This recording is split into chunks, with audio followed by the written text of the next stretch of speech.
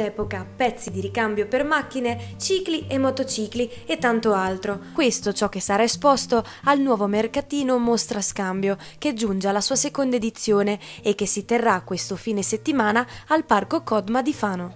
Un'iniziativa organizzata dal Museo Nazionale del Motociclo di Rimini, con il patrocinio del Comune di Fano. Sabato e domenica che è 10 e 11 ed è una mostra fra collezionisti di auto e moto d'epoca che ognuno viene a esporre i suoi mezzi e poi c'è, la possibilità di fare scambio, di, di, trovare il pezzo che manca per il restauro e tutte queste cose qua che, che riguardano il collezionismo. Gli organizzatori è il Museo del Motociclo di Rimini che è un museo privato aperto al pubblico dal 1993. Siamo noi che la organizziamo e per la passione che abbiamo.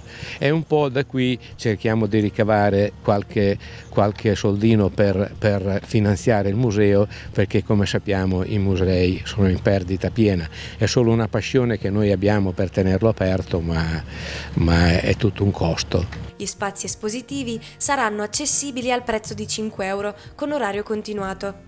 Sabato la mostra accoglierà i visitatori dalle ore 9 alle 18, mentre domenica dalle ore 9 alle 17.30.